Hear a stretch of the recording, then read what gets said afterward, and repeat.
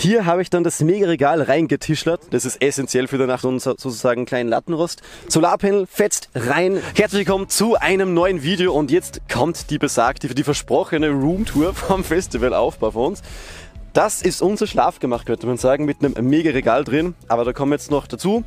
Dann äh, zeigen wir euch das ganze Setup, was wir hier mit haben, mit Kühltruhe, Solarpanel und so. Und ich hätte gesagt, weil wir schon hier sind, starten wir gleich beim Auto. Es ist Tag 3, es ist der letzte Tag vom Festival. Deswegen sind jetzt hier äh, schon weniger Leute. Auf jeden Fall, hier haben wir ein Mega-Regal. Ciao. Ciao. hier haben wir ein Mega-Regal. Von der anderen Seite kommt man eben vom Bett raus, aber hier ist ja die Matratze, deswegen haben wir da noch eine kleine Verstauungsmöglichkeit für die Drohne und für Kabel, die eigentlich dann nach vorkommen. Kommen wir nun zum Inneren vom Auto. Man hat eine Liegefläche, es ist ein Seat Ibiza, man hat eine Liegefläche von ungefähr 1,80, knapp 1,80 das heißt, ich passe perfekt rein und meine Freundin auch und dann können wir schlafen. Natürlich der beste Begleiter, der darf natürlich nicht fehlen, denn ohne den, es geht einfach nichts ohne den. Hier habe ich dann das Mega-Regal reingetischlert. Die Kenner wissen es, ich bin ja Tischler und das ist natürlich ein absolutes Meisterstück, dieses Regal.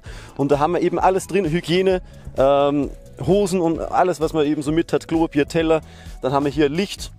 Dann haben wir natürlich eine Pflanze, es muss natürlich auch alles was gleich schauen und Handtücher und alles mögliche, was man eben so mit hat, ähm, ist im Regal drinnen. Das heißt, wir haben eigentlich nur die Kühlbox und das Solarpanel, was vor dem Auto ist. Alles andere ist drinnen. Und jetzt schauen wir einfach mal ins Pavillon rein und wir gehen einfach hier gehen wir hinten durch. Nein, ah, gehen, wir, gehen wir vorne durch. Dann ist das die originale äh, Experience. Freunde, dann haben wir hier Solarpanel, immer mit zur Sonne ausgerichtet natürlich. Und das Ganze läuft dann das originale Eintreten in, den, äh, in die Chill-Area von Flussmitteln. Was laber ich? Solarpanel fetzt rein in den Generator und da ist dann die Kühlbox drinnen und die muss natürlich immer randvoll und gekühlt sein. Und Schokofresh dürfen natürlich auch nicht fehlen. Schokofresher, beste.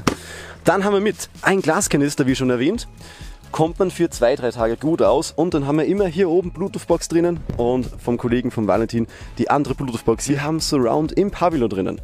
Dann sitze ich meistens hier, immer in einer guten Entfernung vom Mistkübel weg, damit man selbst nichts weghauen muss und immer das anderen Leuten geben kann.